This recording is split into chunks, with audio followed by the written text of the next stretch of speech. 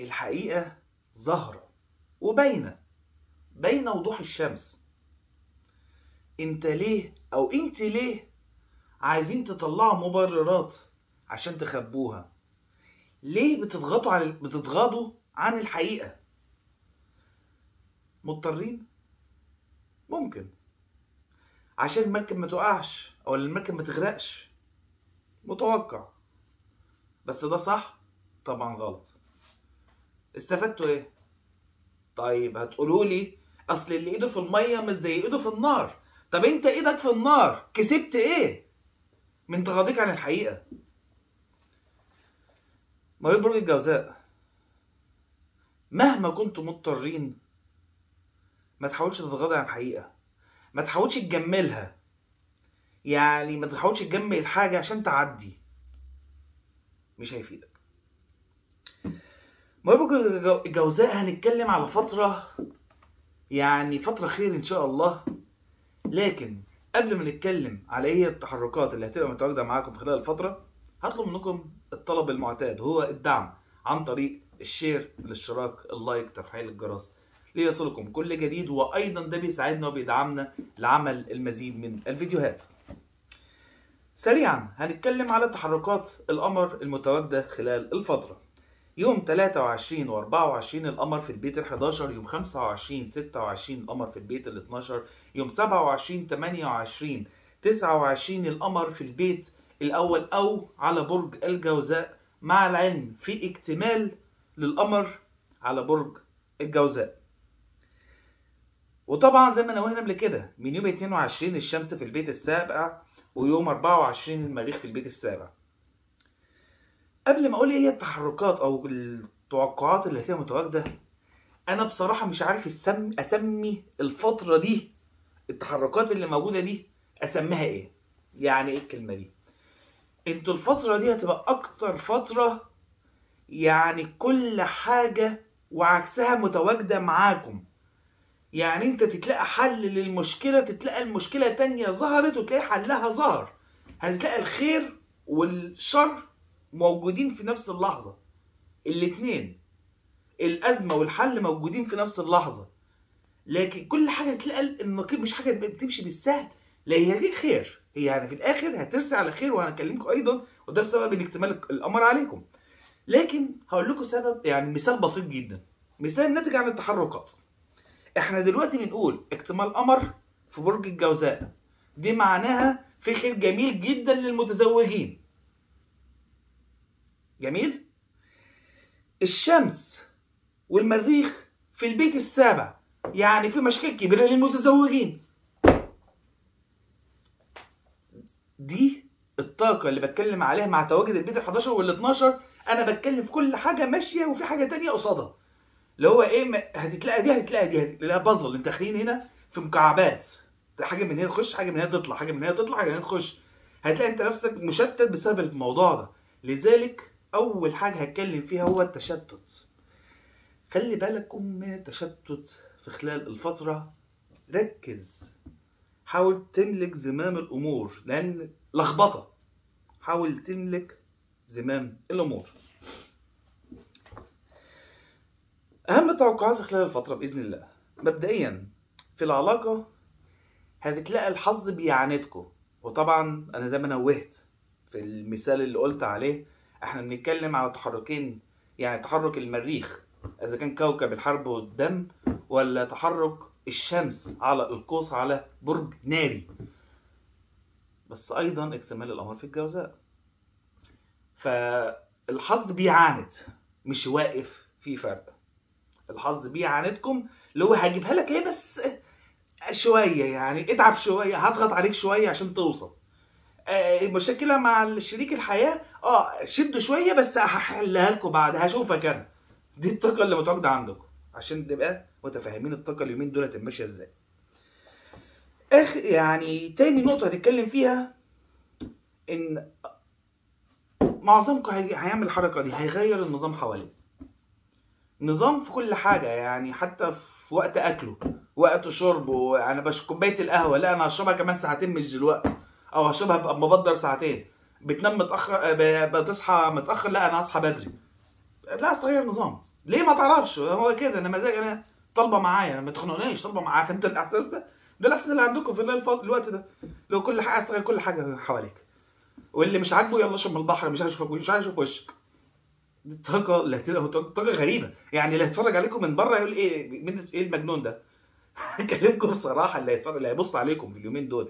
في خلال الفترة يقول لي ماله ماله هدي ولا ماله ده؟ هيحس إن في هنا لكن ما أعرفش ان أنت هنا حاجة زي لخبطت الدنيا حواليك عملت لك إن أنت كل حاجة عايز تقلبها.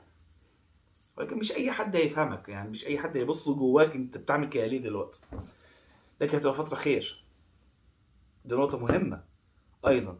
يعني زي ما إحنا قلنا البيت ال 12 وتحركين. الناريين والدم على ال- بيت السبعة ليكم والبيت ال 12 ده عامل أزمة شوية لكن في البيت ال 11 في خير بالنسبة لكم. وأيضا اكتمال القمر. يعني المفروض اكتمال القمر ده يبقى من أحلى أيام اللي يكون متواجدة مع الأشخاص بالأخص. ان إحنا بنتكلم في بيت أول. لكن التحركات التانية هي اللي مأزمة شوية. بس إن شاء الله خير. في الفترة دي هيبقى عندك إجراءات كافية إنك تقدم على حاجة يعني كنت متردد فيها. خطوة عمل كلام مكالمة رسالة مطالبة بحق. هيبقى عندك الجرأة الكافية اللي أنت تنفذ المرة دي. ده أيضا نقطة خير هتقابلكم خلال الفترة إن متوقع إن في خلال الفترة دي في شخص هتبدأ أنت تفتح له المساحة لأن بسبب مواقف كده حصلت.